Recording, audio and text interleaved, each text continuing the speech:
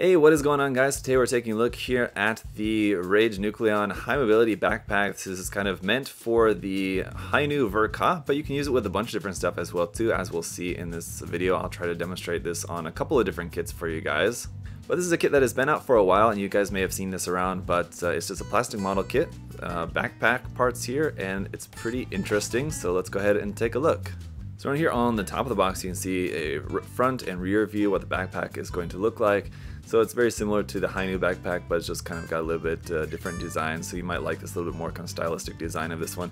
Interestingly, over here it says no fin funnel included, so I'm confused by that because it appears there's fin funnels included, but it says no fin funnel included. So I don't know about that. Because then if you look over here on the other side, it's also a little bit confusing for the accessories list here. It says no antenna or weapon body included. So it looks like you've got maybe some parts to make a little bit different style head, but no antenna and then maybe a different uh, hyper beam rifle you can make, but not without the body parts. So you need parts from the uh, Hi-Nu Verka kit, maybe, to make these entirely. Well, we'll see once I get to actually building the kit.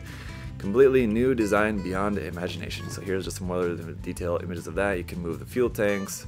You can open up the top little hatch there where it's got the beam saber handle stored. You can move the parts of the backpack, all kind of things you might expect. As you guys can see, it's a pretty good sized box for what is basically just a backpack. So let's see what we got all in here. So we've got our instruction manual. We'll take a look at that here in a minute. And pretty cool, all the uh, bags have this like warning sign uh, printed on there. Just kind of a gimmicky thing to make this look more cool, I guess. But there you go. So you got all your runners in there in a few different colors, white, off-white, purple, gray, so right on the front of the manual, it really looks like this is a resin set. If you guys have ever built any resin conversion kits or something like that, this is a very resin looking image here on the front of the manual, but there's a look at that. Around here on the back is just kind of the same thing. There's a color chart there for you in Japanese and Chinese, or just Japanese. Yeah, it's just Japanese. If you open up to the front bit there, we've got our parts list. So it looks like we've got a bunch of parts that we won't end up using. That's kind of weird to have this as like a backpack set that you're buying just for the backpack and having so many leftover pieces. So I don't know, not really too sure about that. Anyway, uh, so then you just build up the backpack. That's going to be obviously the main thing here. And you got some more, there's a cool like illustration of that some more little bits of information. It's all in Japanese, strangely enough. And continuing on with that, and then the head parts. So yeah, it looks like these three pieces you'll need from the original Verka kits. You can build, I think, basically all of this minus the front three parts for the V-fin. And then as for the beam rifle, yeah, so you use like the main body of the beam rifle and you're basically building these separate parts to attach. So the top part, the bottom part, and the barrel part will be different. Those are the new parts that you can build with this set.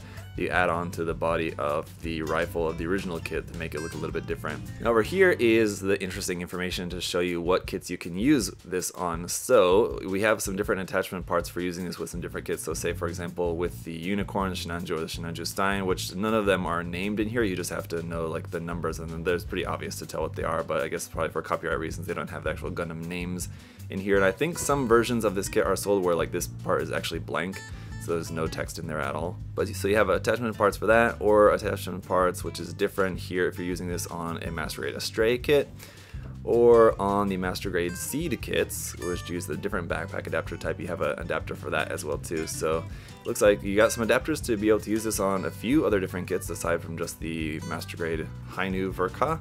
So that's cool. So rather than getting on into the runners, because we don't have any stickers or water slides or anything like that included with this, it really would have been nice if it would have included a set of water slides for the backpack, that would have been cool. But here we have runner A, which is a pretty large gray runner. Runner B here is in the warm off-white color, it looks quite nice. Runner C is in that really nice bright purple color, and we've got two of the C runner. Runner D here also in white, and this one as well we've got two of. Runner E is also off-white, a little bit more kind of like a very light gray color here for these two. You have some nice color separation amongst your white colors. And the same color used for runner F here as well for some of these little detail parts. We've got two of these. Runner G is some parts here in white, including some of those parts there, as you can see, for the head. Runner H is back to some parts here in gray, and we've got two of this H runner. Runner I is some parts here in just plain clear, Runner J is once again some of our light gray off-white colors. We've got two of this J runner.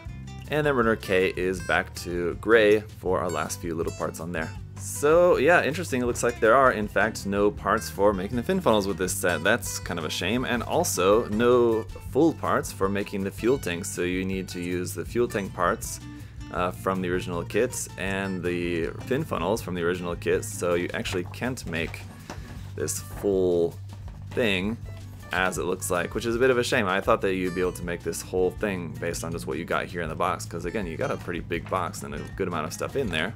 So I gotta say, honestly, that's a little bit disappointing at the moment, but of course, if you're using this with the Hi-Nu Gundam, that's all good and well, but if you're planning on using this with something else, not the Hi-Nu Gundam, then you're definitely gonna be missing some parts that you can't really do a whole lot with with this. But let me go ahead and build up, get it built up, and then we'll see how it's all looking.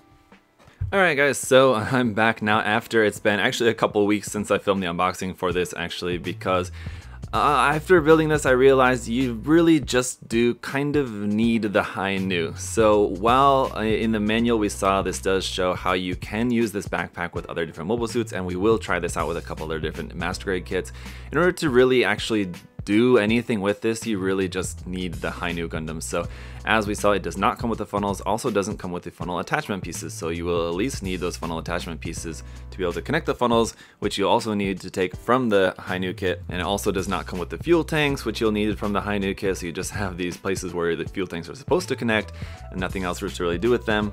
And as we saw, it comes with almost a full head, just not the entire head. You don't have the V-fin, you'll need that from the Hi-Nu. And then you have new parts for the rifle, which I've just gone ahead and assembled this. You don't have the full parts to make the entire rifle, but you have to use a combination of the new parts included with this set and uh, some parts from the original Hi-Nu kit. But ultimately, I mean, the new rifle with the added parts on there looks fantastic. Very cool design uh, with these parts added onto that. It looks much more bulkier, very cool. I do really like this new rifle design. Um, but anyway, so the long and short of it is that I would definitely recommend you guys at least have the Hi-Nu kit to go along with this. Just to compare the two heads here, minus the V-fin, as the V-fin will be the same. This one is the Bandai head, which has clear green parts in there for the eyes. It is a little bit smaller, as you can tell too, especially when you look at it from the side. You can see how the new head is like a little bit longer, a little bit kind of taller, just like ultimately a little bit larger, and a little bit more detailed. That it has this kind of added detail there on the side that the Bandai version doesn't have. To be pretty similar ultimately, but you can just see how, honestly, I'm not really sure which version I, I like more. There is aspects of the Bandai version that I do like, but I think the new head does also look pretty cool as well too. Let's go ahead and pop the V-fin onto there, and here's how that's going to be looking, and we can just go ahead and put this onto the kit as well. I've got the head on there. It doesn't really feel like it's a super tight fit on the ball joint that it connects onto for the neck, so it does feel a little bit loose. And also, it's too wide to fit within this collar piece, so the collar piece, as you, as you can see, is kind of like hitting onto the sides of the the bottom of the head there.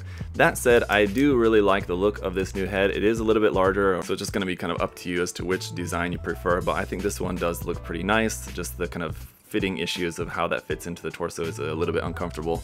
Now just getting back to the backpack here is comparing it with the Bandai version over here on this side and the Rage Nucleon version. So obviously it's got, uh, they're both actually quite highly detailed. Obviously the Rage Nucleon version has a lot more detail going on, especially in the center section, which on the Bandai version is pretty plain in comparison. So you have a lot of little color separation there with these little light gray bits, especially up inside here. It's going to be looking very cool as well too. Of course, if you paint the Bandai's version, it's going to be looking better once it's actually painted, but even unpainted, the Rage Nucleon version does look great even straight out of the box. And then just comparing the details here as well too. Both of them have the functional door for storing the beam saber. So you just pop that open and your beam saber handle will fit up inside there. Same as with the original that pops open, your beam saber handle goes inside there. That said, this like kind of fin underneath the kind of antenna looking part there is kind of a little bit ugly on that one to be honest. So I think the design for the Rage Nucleon version with just this little kind of fin up there at the top is pretty nice. That said, it doesn't want to close all the way. There's a little bit of a gap there, so you might have to do a little bit of sanding on those parts inside there to be able to make that so that it can actually close up tightly and not leave that gap there. And just comparing the main center part of this as well too, you can see there's a lot more detail with this stuff going on uh, on the center section there. As far as any like seam lines or anything on this, mostly it's kind of okay. You will have a couple of seam lines right there on the top. Other than that, I mean, I gotta say it is a very nice design. So just plugging our fuel tanks onto here, to give us the full effect of that. Well, I guess not the full effect yet. We still have to put the uh, funnels on there as well too. So let's go ahead and, and pop those onto the backpack. All right guys, so here is everything on the kit. You got the mostly new backpack, the mostly new head and the mostly new gun. And I gotta say, they look really great together. The colors match basically perfectly as far as I can tell. Those look like they match right on, especially that purple. You might think oh, it could be ending up you know, a little bit off, but no, looks right to me. And also the detail I think does mesh pretty well. That's the kind of problem with these kind of kits sometimes is that they don't end up matching very well with the detail of the kit they're used for. Say, so for example, you could have these new backpack parts which are really cool and super detailed, and then they're just unfortunately much more detailed than the rest of the kit they're attached onto and they end up looking a bit weird. Whereas this case, uh, the backpack parts are pretty well detailed, but the base kit is pretty nicely detailed in areas as well too. Now I have some sections of the kit where that differs, especially in like the lower legs. Say for example, you have a lot of wide open spaces that don't have a lot of detail in there, but I think overall the backpack parts match pretty well with the mobile suit here. Alright, now one problem though that I am having with this is that this backpack is heavier than the original backpack. So heavy that it tends to pull the whole head or like head neck section off the kit.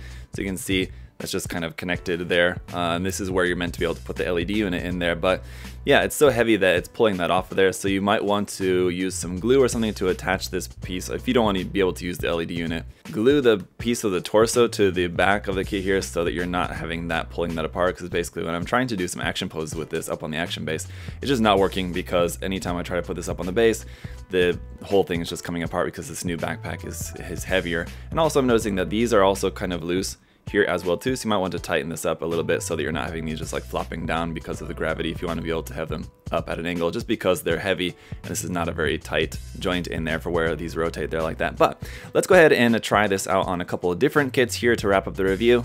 Okay, so one example we're to try here is with the Master Grade Blitz Gundam, and this is just using the same adapter piece that you can use, I think, probably for most of the Master Grade Seed GAT kits.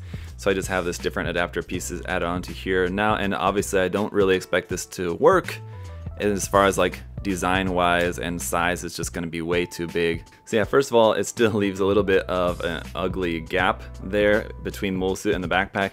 And then just in general, it, I don't know if it's really much of a good flow. I mean, if you wanted like a huge ass backpack for your Blitz Gundam, uh, where like the backpack is like almost as big as the Gundam itself. I mean, honestly, you could make it work. I think it looks weird being in completely different colors now for the moment, but I mean, you could, I mean, make a pretty interesting kind of Blitz Gundam, or, you know, other different GAT series Gundam with that.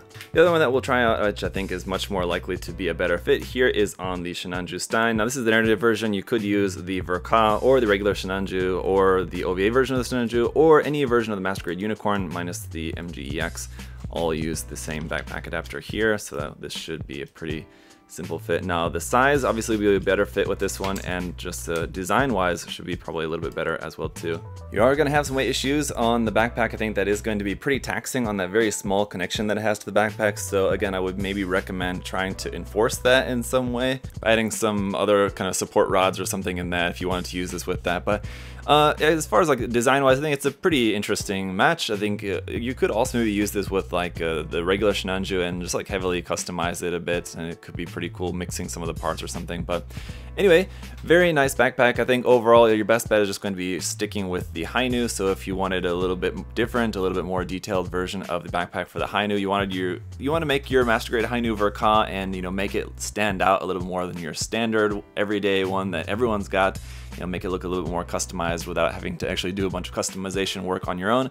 And this uh, this backpack is a, a, good set for that. So definitely check it out if you guys are interested. I wish it would have come with the fuel tanks and the fin funnels and stuff, but I don't know if maybe it just they didn't just to avoid copyright stuff or something. I don't know really why they didn't include all those parts in there.